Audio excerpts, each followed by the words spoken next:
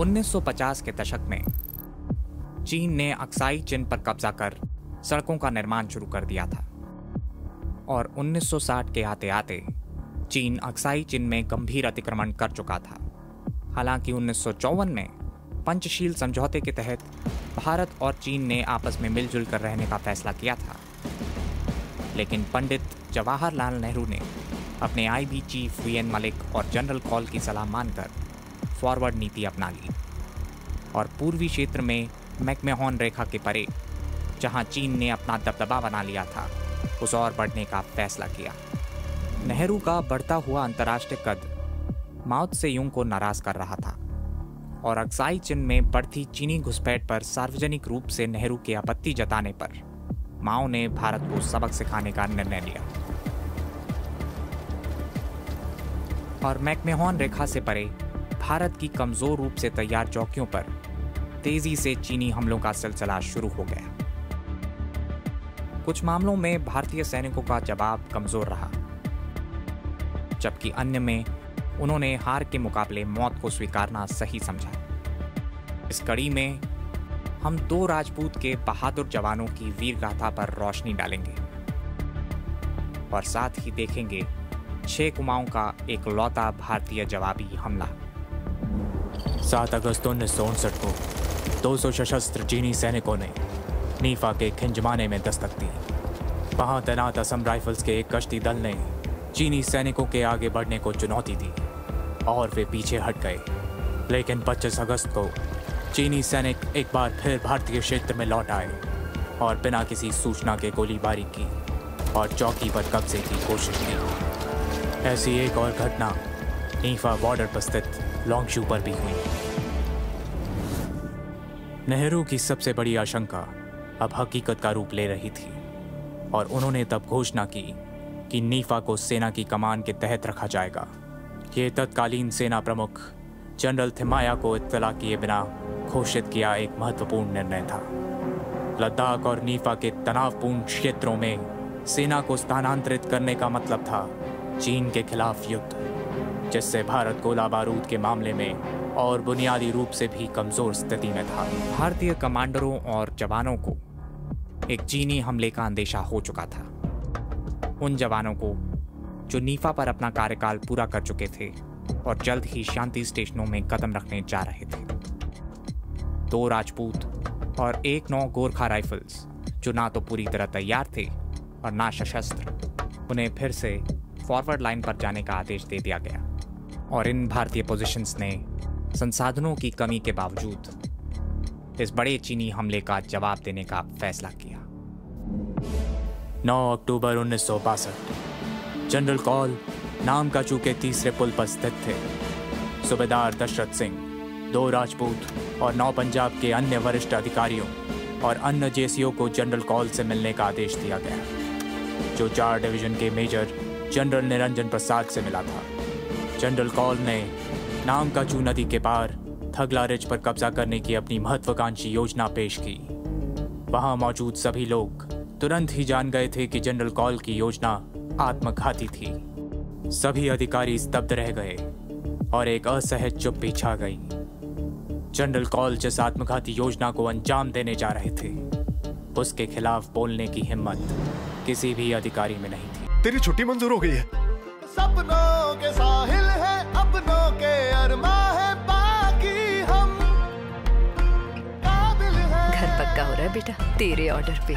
और सीमेंट जेके super cement पुत्र। देश के रक्षक से ज़्यादा सुरक्षा का महत्व कौन समझेगा?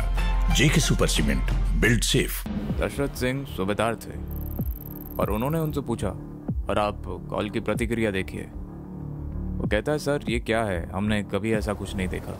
यहाँ दुश्मन पहाड़ी पर हो और हम नदी में बैठे।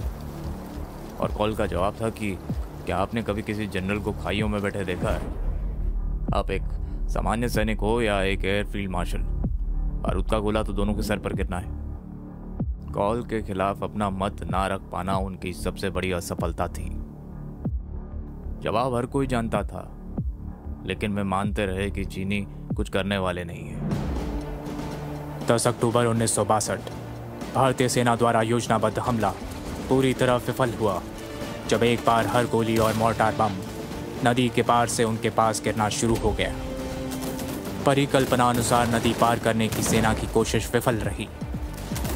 ये जल्द ही स्पष्ट हो गया था कि चीन किसी भी भारतीय गतिविधि को बख्शने वाला नहीं था। जब हमने जनरल कॉल का प्लान जाना तो हम चौंक गए। ब्रिगेडियर दलवी की सात ब्रिगेड और दो राजपूत को नामकाचू की तरफ़ की पोजीशन संभालने का आदेश मिला था, जो पूरी तरीके से चीनी दबदबे में थी और थागला रिज पर चीन हावी था।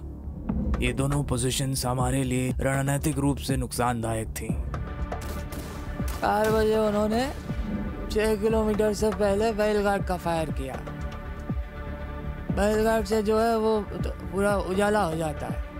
पूरे बैलघाट पे फायर करके फिर उन्होंने 25 पाउंडर का गोला बरसाया हम लोग 15 किलोमीटर नीचे थे। अब जब बम्बार्डमेंट हुआ, वहाँ पे तो कोई हम लोगों ने कोई डिफेंस भी नहीं बना पाया था। अब जब गोला आता था तो हम पेड़ की आड़ लेते थे। दो राजपूत ने दृढ़ता से लड़ाई लड़ी, लेकिन वे कुछ ही घंटों में परास्त हो गए और बाकियों को पीछे हटना पड़ा। नाम का चू में लड़ रहे 500 लोगों में से दो सौ बयासी मारे गए, जबकि अन्य को पकड़कर युद्धबंदी के रूप में लिया गया। नाम का चूपर बंकर और खाइयाँ इसके नीचे लड़ने वाले जवानों की कब्रगाह बन गई। सूबेदार दशरथ सिंह को 28 बार पेट में गोली मारी गई और युद्धबंदी बना लिया गया। वह न केवल चमत्कारी रूप से बच गए, बल्कि भारत को युद्ध विराम के बाद वापस लौटाए गए। नाम का चूपर कब्जे के बाद चीनी तवांग की ओर बढ़ रहे थे। और नीफा में तवांग तक पहुँचने का सबसे छोटा रास्ता। बुमला एक्सिस से गुजरा। ये वह जगह थी, जहाँ सूबेदार जोगिंदर सिंह, जिन्हें बाद में परमवीर चक्र से नवाजा गया, उनके नेतृत्व में एक सिख रेजिमेंट के जवानों ने एक भयंकर लड़ाई लड़ी। एक विशाल चीनी सेना के सामने एक ऐसी लड़ाई, जिसमें कई जवान शहीद हुए, लेकिन उन्होंने अंत तक हार नहीं मानी। एक सिख के सूबेदार जोगिंदर सिंह की पलटन में उनतीस लोग थे और बुमला के पास टोंगपेन ला के आई बी रिज पर एक पोजीशन का बचाव कर रहे थे। सूबेदार जोगिंदर सिंह ने एक सिख की अपनी पलटन के साथ उथली धारा पर नज़र रखी, जो उनके और दुश्मन के बीच में थी। चीनी केवल 250 गज की दूरी पर खाई खोद रहे थे। सिखों को अंतिम आदमी तक लड़ने का आदेश दिया गया और सूबेदार जोगिंदर सिंह के नेतृत्व में एक सिख की आखिरी गोली और पलटन ने इन आदेशों का पालन किया। सूबेदार जोगिंदर सिंह को पता था कि एक खूनी लड़ाई लड़ी जानी थी, शायद उनकी आखिरी। उनके रिटायर होने से सिर्फ़ एक साल पहले। तेईस अक्टूबर उन्नीस सौ बासठ टोंगपेनला में सर्दियों की सुबह की चुप्पी, साढ़े पाँच बजे दुश्मन की गोलाबारी की तेज आवाज़ से टूट गई। दो सौ चीनी सिपाहियों की पहली लहर ने भारतीय सीमा पर उनके और भारतीय सैनिकों के बीच की धारा को पार कर लिया। एक सिख के जवानों ने दुश्मनों का सामना किया।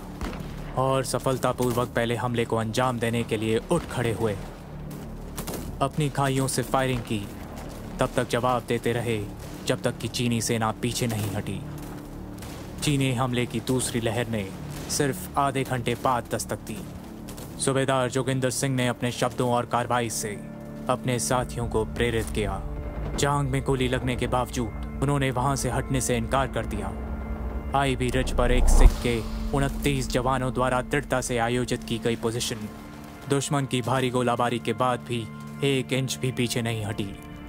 रण हुंकार और घायलों की चीखें गूंजने लगीं और साथ ही हताहतों की संख्या भी बढ़ने लगी। जैसे ही उनका गोला बारूद खत्म होने लगा, सूबेदार जोगिंदर सिंह ने अपने शेष प्लाटून को अपने हथियारों पर संगीनों को ठीक करने के लिए कहा और पूरी ताकत के साथ दुश्मन पर हमला करने का निर्देश दिया। सूबेदार सिंह और उनकी पलटन ने उस शाम तक दुश्मनों को रोकने में कामयाबी हासिल की, जब तक कि हर आदमी घायल या मृत नहीं हो गया।